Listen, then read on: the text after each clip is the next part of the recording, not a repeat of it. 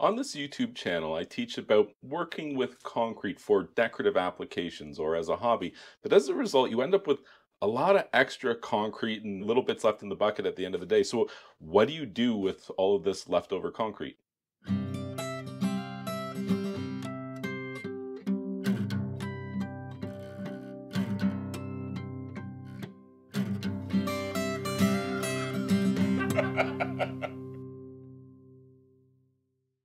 So you've got all this leftover concrete, or you've got more than you want. It's hard to get rid of. It's expensive to get rid of.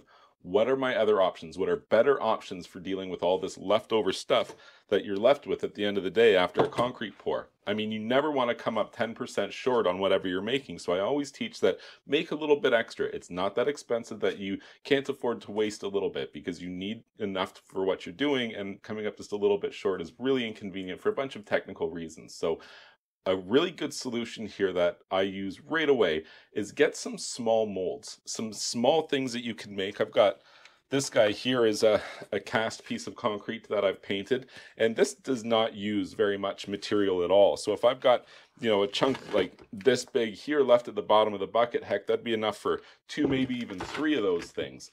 And so that's a great tip right away is get some smaller molds such that you can Whatever's left in the bucket, you can quickly apply it into one of your molds. Keep those molds clean, oiled, ready to go all the time so that whatever you've got left over from what you're working on doesn't just become a lump of concrete that now you have to pay to get rid of.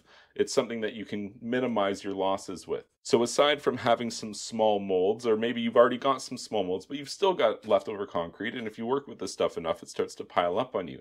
What else can you do? Well, I'll tell you what I do. So I like to do stuff like I'll have a bunch of leftover concrete.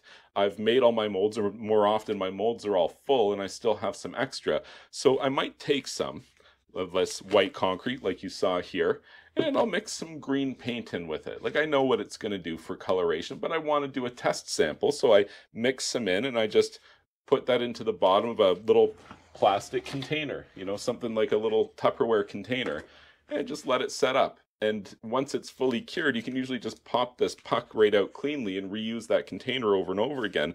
And now you're left with a pretty interesting color sample. We can see exactly what color that we could get with that. Or, you know, more along those lines, what if we start mixing some color like white and brown together to see, you know, what's that going to look like? And further to that, acid stains paints, concrete stains. There's so many ways that you can add color to concrete after the fact. So you never really want to do that on your finished piece as an experiment.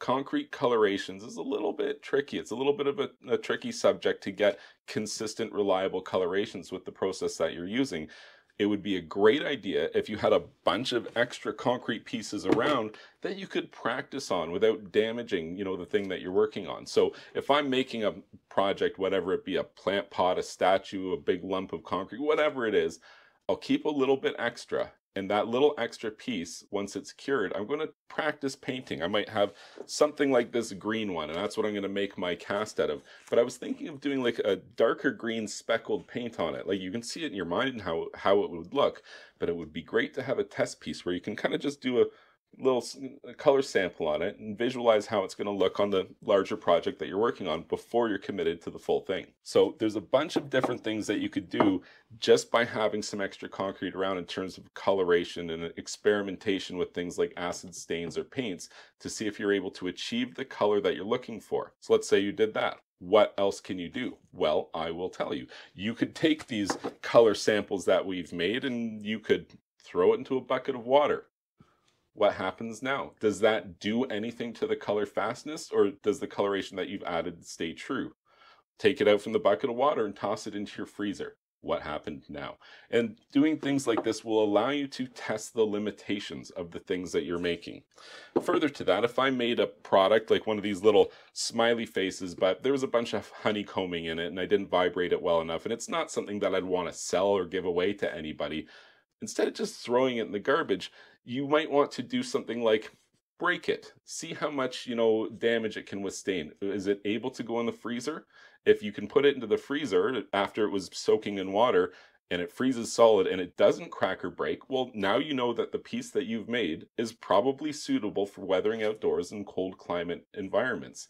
You know, you wouldn't have known that otherwise. And you wouldn't want to sell a piece to somebody and tell them, oh, yeah, you can leave it outside all winter. And everybody who did that, it ends up breaking. It would be a great idea for you to learn more about the products you're making and the limitations of them by breaking a couple of them. Don't break the good ones. Wait to the ones that, you know, are slightly less perfect and then break those ones for your experimentations. So there's a couple of different things we've talked about already, but what else can you do with all this leftover concrete? If you were really hard up, I guess you could put on some safety glasses and grab a big rock hammer and just start bashing this stuff into small half inch or three quarter inch size chunks. And at that point, it's essentially gravel. You could add that into a concrete mix to increase the bulk of your yield. It's not something that I really recommend doing, but here's a kind of an, a different spin on that, which I would recommend doing.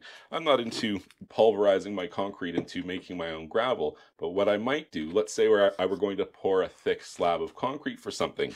Well, I wouldn't mind taking this guy or a couple more like them and setting them inside of that pour, as long as I'm still leaving a suitable thickness for the application. What I'm saying is don't, you know, make your concrete really thin because you've got all this waste material in there and now you're just skinning that over time. I wouldn't do that.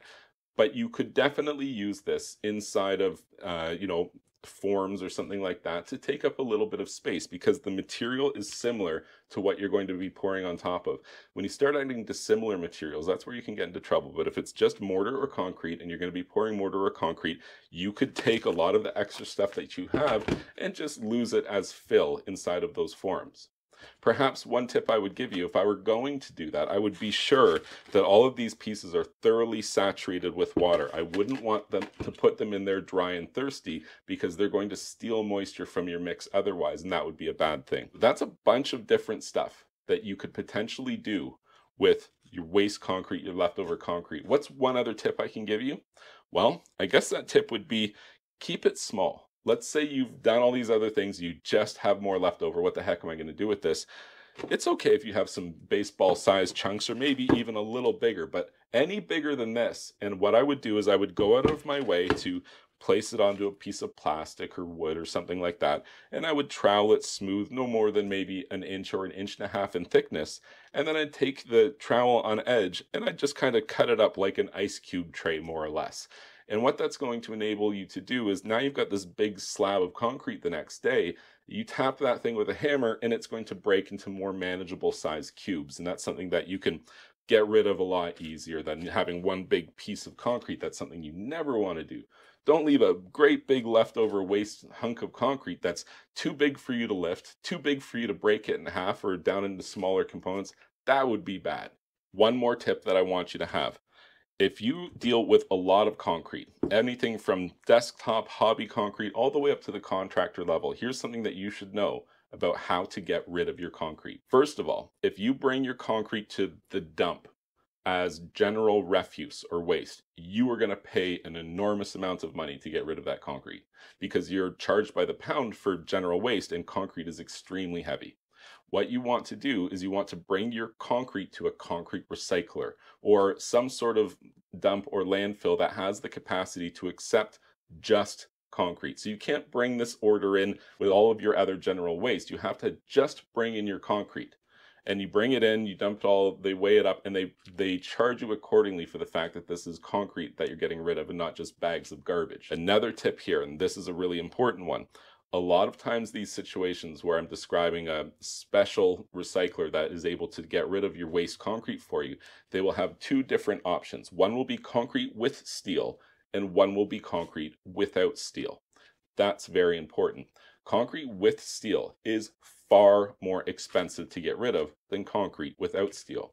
I don't actually know this, but I suspect the concrete without steel just gets sent into giant machines that pulverize it into aggregate again, whereas the stuff with steel in it, that's a little bit harder to deal with. And so that's why they charge you a lot more money to get rid of that. So always be sure, and especially at the desktop level, it's pretty easy for us to get to keep the concrete with steel away from the concrete without steel in terms of all your waste debris. Like there's no steel at all in this. It's just a lump of mortar that's solidified here. So if I'm careful where I choose to recycle this concrete, I could probably get away with paying a very, very small amount of money for a relatively large size load of concrete without steel. Ultimately, the goal is to waste as little as possible, whether you're a contractor or you're just working with concrete as a hobby. But I hope some of these tips are helpful. I hope you can implement them, help to reduce on the amount of extra waste material that you have, make more products, learn more techniques, learn the limitations of the things that you're making, and pay as little as possible to get rid of whatever's left over in terms of waste concrete. I hope you found this information helpful.